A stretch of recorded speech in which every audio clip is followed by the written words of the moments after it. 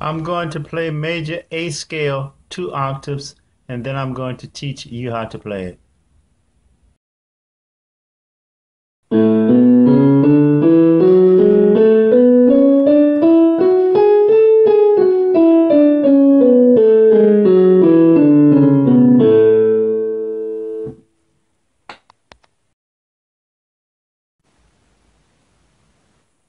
Okay, we're going to start off by giving the uh, fingers to the hands and numbers. On the left hand, this is finger 1, 2, 3, 4, 5.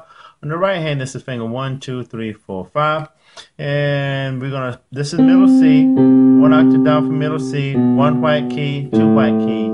That's the uh, A. So we're going to uh, start off by with the finger number 5 on the A. And here's the pattern to play uh, the uh, major A scale. It's going to be, starting off with finger number five, it's going to be A, B, C sharp with three, D, E. At this point, you're going to cross over. You're going to, again, you're going to cross over finger number three over to the uh, F sharp. Then you're going to go G sharp. Then you're going to go A with finger mm. number one. And now you're going to take finger number four and you're going to cross it over to the B. Again, finger number four is going to cross over finger number one to the B. It's B, it's going to be C sharp, D, E. You're going to cross over finger number three over finger number one to the F sharp, G sharp, and the A. And the pattern you use going down would be the reverse of what you use to go up. So it'd be finger number one is going to be on the A, finger number two, G sharp, finger number three is on the F sharp. Then you're going to tuck finger number one up under finger number three. Then you're going to hit the E. Then you're going to go D, C sharp, then you're going to tuck finger number one up under finger number four to the uh, A, G sharp, F sharp. Then you're going to tuck finger number one up under finger number three to the E.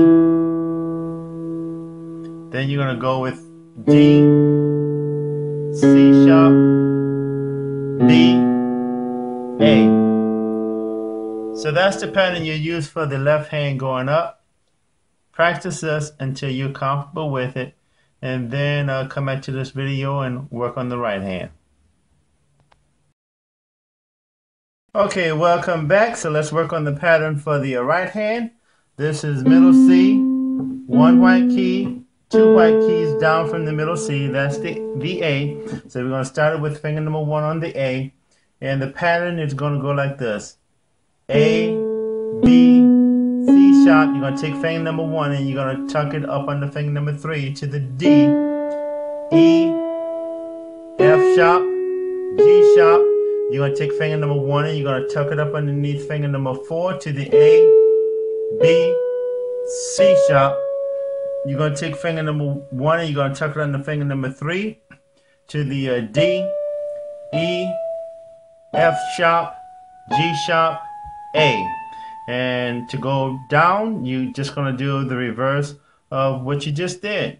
So it's going to be A, G sharp, F sharp, E, D, and now you're going to take finger number three, you're going to cross over finger number one to the C sharp, B, A. Now you're going to take finger number four and you're going to cross it over finger number one to the uh, G sharp, F, E, D. Now you're going to take finger number three, you're going to cross over finger number one to the C sharp, B, A.